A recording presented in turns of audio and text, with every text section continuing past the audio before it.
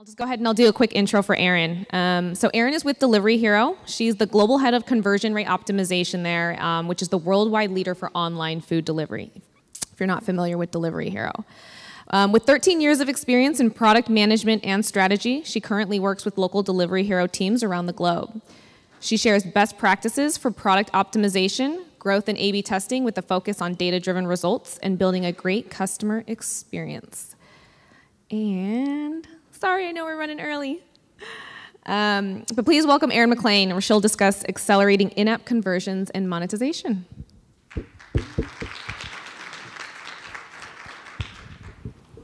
All right, so just a quick intro, intro for those of you who joined. I'm Erin McLain, head of conversion optimization at Delivery Hero. Delivery Hero is the world's leading uh, provider of online food delivery. We operate in over 40 markets around the world, and for example, in 2016, we processed 171 million orders. Uh, and late June, early July, we went IPO. Uh, we're going to talk about a lot of the themes that have been going on today, but the area I'm going to focus most on is example case studies. So I'm going to give you real life examples of things we've done with our apps to accelerate conversions and orders and monetization. Of course, before that, as everybody's mentioned, is establishing a data-driven culture. Um, this has to happen from the top down, so we need to make sure that the business leaders are challenging the product owners to validate the decisions they're making. Um, releasing a feature isn't a measurable, measurable goal or OKR.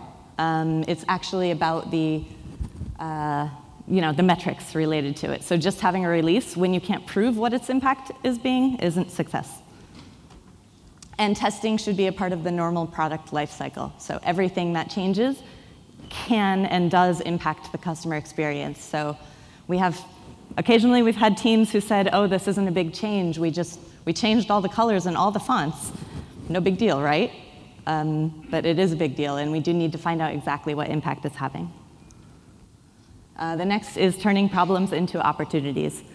Um, and we've talked about funnel visualizations at Delivery Hero. Our funnel is usually a home screen where you enter your location, followed by the restaurant list, um, all the available restaurants who are delivering, the menu, checkout, and the order. Um, so we use the funnel visualization to look at all the data and say where are we losing the most customers. Um, and based on that, we can turn that problem and say, okay, maybe we're losing the most people on the restaurant list um, and why is that happening? And then we develop our hypotheses based on that, and we can project how can we improve this area of weakness. And of course, in, in order for any uh, data-driven or experimentation company to be successful, it's all about validation, iteration, and growth. Um, so test, learn, whether it's uplifts or downlifts or nothing happens, we learn every time, and we learn about our customer behavior, and we learn how well we know our customers or not. Uh, and then, of course, repeat and share, uh, especially in the case of Delivery Hero. Um, we have so many teams around the world who are all essentially doing the same thing, like selling pizzas, but we're all doing it in a slightly different way. Um, and there's a lot of things we can learn from each other. So we're going to get right into our case studies. Um, I will after each case study, I'll ask you guys for a show of hands to see which one you're going to vote for, um, and we'll go through these examples. This is our app in the UK, and this is the menu page. So you can see all the pizzas there are immediately displayed when you get into the menu. And the problem in this case uh, was two sides. On one side, customers were complaining about the length of the menu pages and all the scrolling. And on the other side, we were, they were seeing a high drop-off rate here. So the hypothesis is that changing to an accordion-style menu where you click on each category to expand it um, can keep the customer more focused and enable them to make decisions easier, ultimately leading to more click-throughs to checkout as well as more orders. Oh. And I clicked a little too fast there, but you can see the, the winner was uh, variation one. Um, and in this case, we saw about a four and a half relative increase in order conversions as well as the click through rate. And just to note, every time I talk about uh, relative increases, they are statistically significant. So Um, and for us, statistically significant is 95% or above. Um, and the key learning from this was number one, solving usability issues, and number two, solving internal debates, because I think this is also something that can change according to, um, I mean, I think this is something that can be tested regularly as well, because customer behavior changes from year to year, and maybe later uh, they like to scroll more, or maybe in one market we ha always have shorter restaurant menus, so it's easier to uh, uh, digest.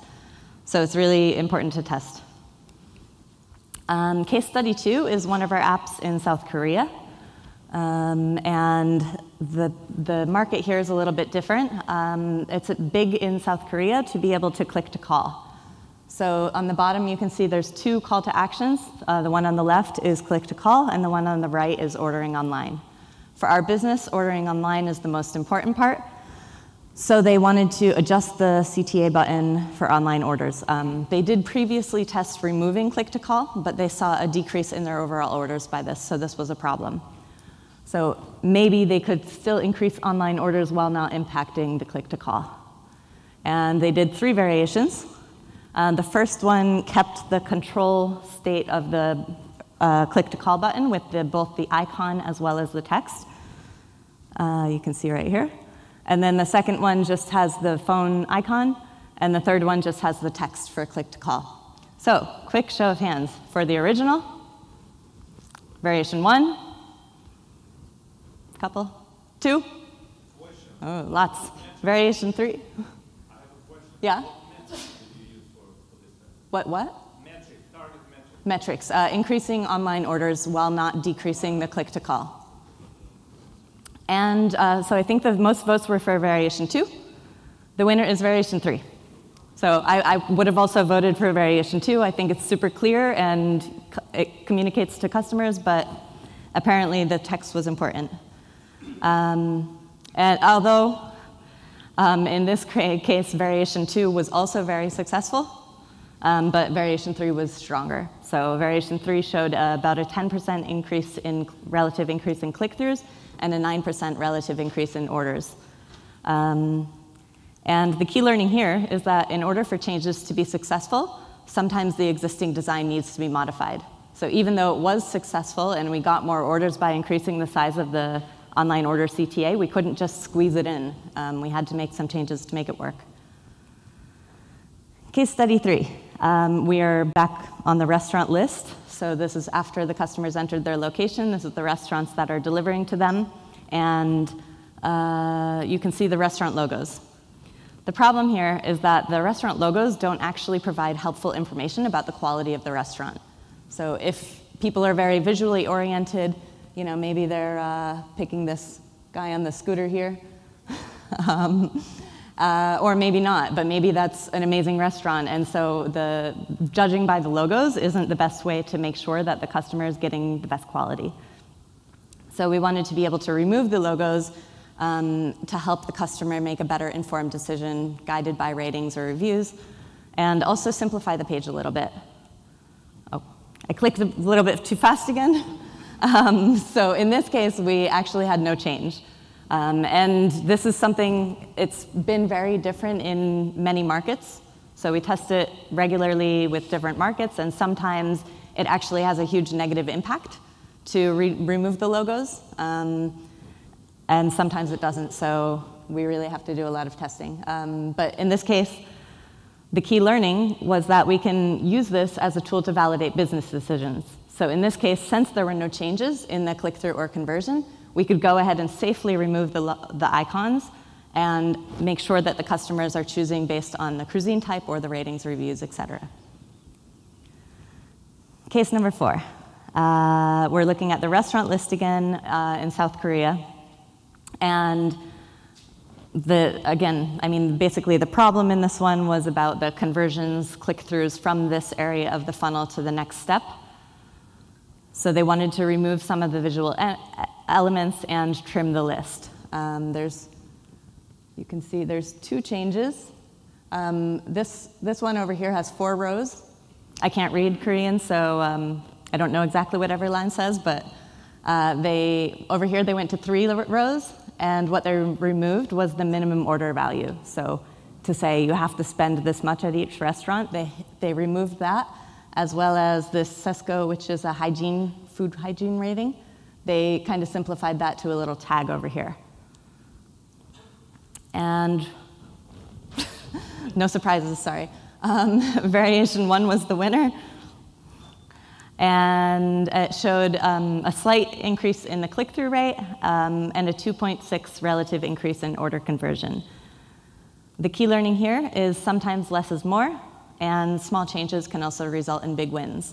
And this is really significant, especially with our app in South Korea. You might look at these numbers, maybe, I mean, I think most of you are experimenters, so you probably know that 2.6 is a pretty big increase. Um, and especially with the number of orders we have in South Korea, this results in hundreds of thousands of orders year over year. So it's really cool. Um, and case five. So this is the last one. I'll try to let you guys vote. um, this is showing menu items above the fold. So this is on the menu page. It shows some details about the restaurant, which when you're ordering online, maybe looking at the restaurant's address and phone number isn't so important. So the hypothesis was that they could get the customers into the menu quicker um, by showing the food items higher. So we still kept all the restaurant info, it's just that it auto scrolls down to the first menu item. Votes for the original? Couple, two, three, four and votes for the variation. Okay. The winner was the original. Um, so this is, again, why we do A-B testing. Uh, we saw a statistically significant decrease in the click-through rate from uh, the menu page to the checkout.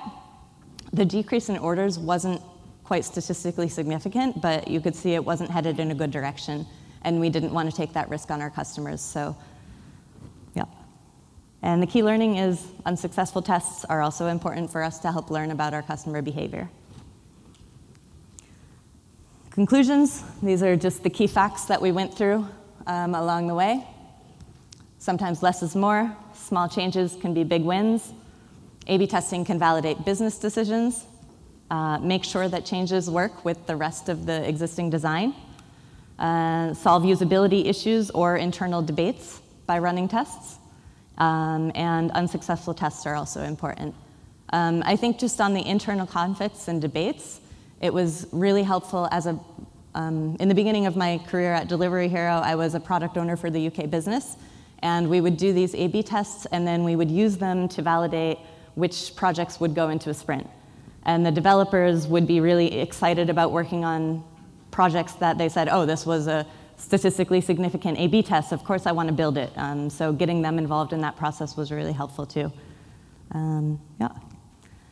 And that's it. Any questions?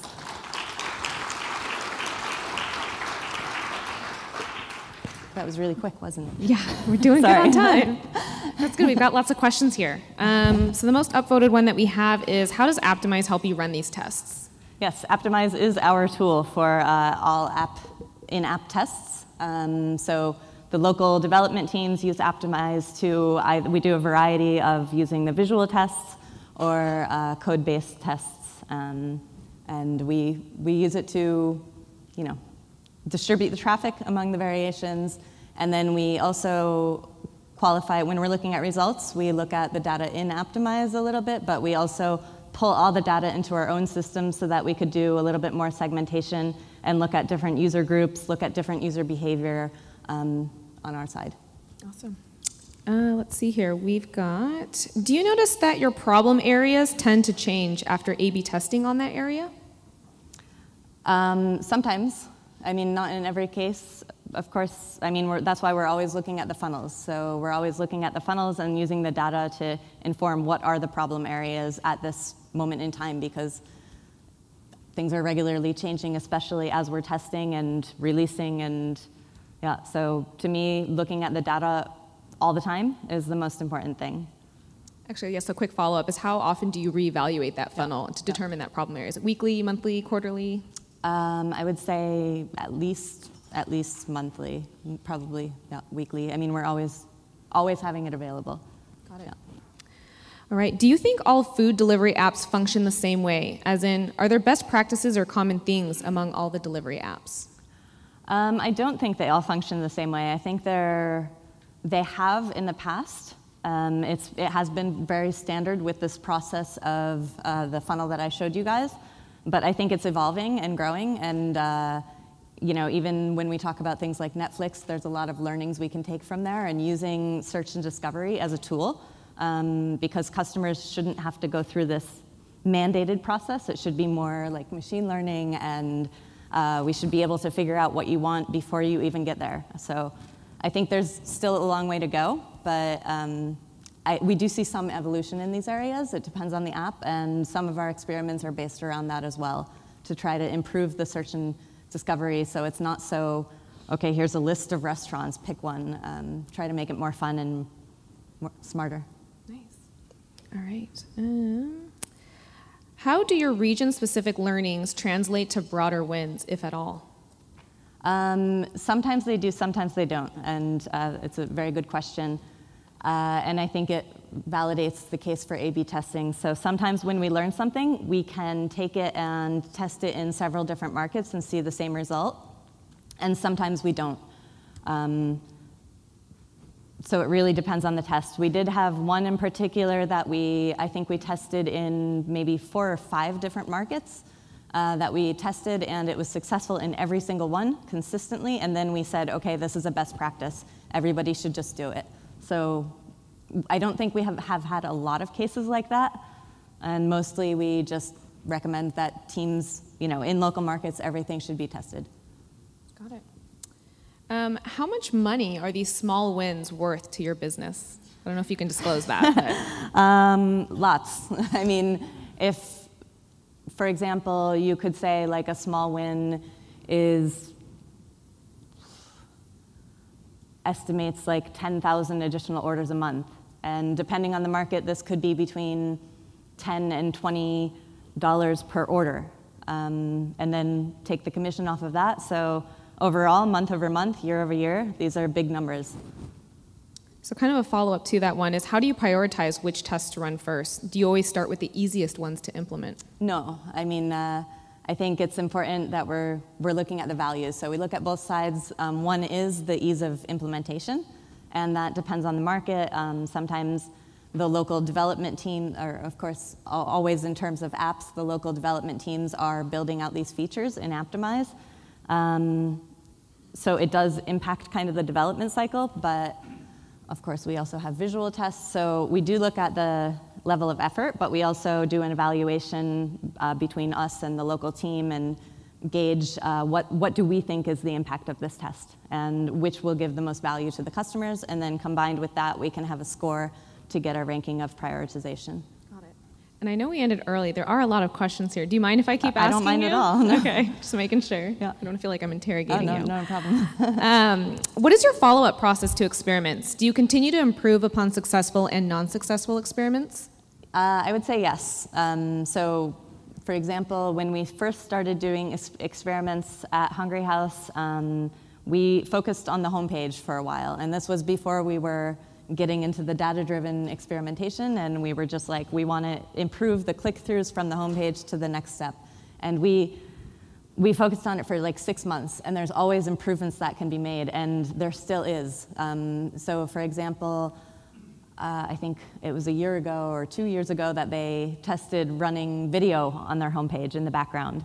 And I think that should be tested every four months, six months, uh, eight months, because this can change and you know, different videos could have a different impact, or maybe it should be moved to a slide, like rotating slides, or maybe it should be a static image again because the customer behavior and feeling about these things change all the time. Um, of course, whether this happens or not is often dependent on the local team that's running that entity. Um, but yes, the practice is to continually focus on these areas and I think we always have new opportunities because the market's changing. Awesome. Um, how do you schedule the tests? How do you communicate to the teams which tests are running? Um, this happens pretty much within the local markets. So my team is based in Berlin, and our, our job is really getting teams up and running. We uh, educate them about Apptimize. Um, and we share best practices, um, you know, how long to run a test and all these things. Uh, just on that, our best practice is uh, between two and four weeks, which is our business cycle is one week. So our kind of best practice is about three weeks. Um, so our team itself focuses on sharing the knowledge um, and communicating within the local teams when they're launching an experiment has to happen on their level. So since they're running the tests, it's up to them to communicate to their team that this is happening.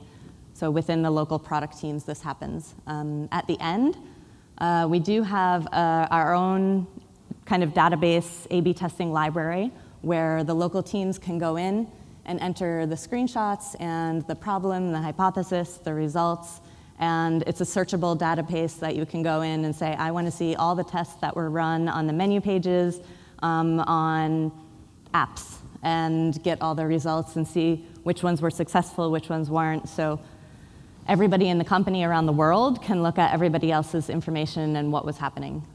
Got it. On average, how long do you run each test? That was uh, about three weeks.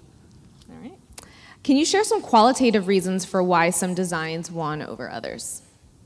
Um, could you be more specific? Is do like maybe like user feedback or? Um, I mean, I don't know if we have. No. um, I mean, why they run, uh, why they won is according to the data, but there's qualitative reason about why we run them. So we get qualitative feedback in order to decide which tests we run, mm-hmm. and then of course the data about the results is quantitative. So, um, but we do use the user feedback. Uh, we do a lot of user testing. Um, and that would be a step that comes before A B testing. So for me, a best practice would be if something new is happening, we should be doing a lot of user testing, getting the information, and using it to say, okay, and we're going to narrow it down to two or three designs, and we're going to test those. Um, so that's our feedback into what we test. Got it. Yeah. All right, let's do one more. Yeah. Can you give some examples of some projects that came into a sprint out of these tests? Uh, I mean, all of these, I mean, anything that's successful. So if it's successful, it goes into a sprint to be developed um, and released. Um, there's, there has been times that we've tested things. Um, we haven't done it as much, but I also like tests that are kind of a gauge of how much effort something is. So we haven't done it a ton, but for example, back in the day, um, we put a button on the menu pages that said like see photos. And when you clicked on it, it said coming soon. So based on clicks, we would gauge customers' interest about building out this feature. Um, and, and that's a good way to get user feedback or customer feedback about what, what do they want and is it worth it. So in this case, it wasn't worth it at the time, but by now it might be. So um, yeah. Well, thanks for uh, taking all those questions. I no know worries. it was quite a long time, um, but good job. Thank you, Erin. Appreciate Thank you. it.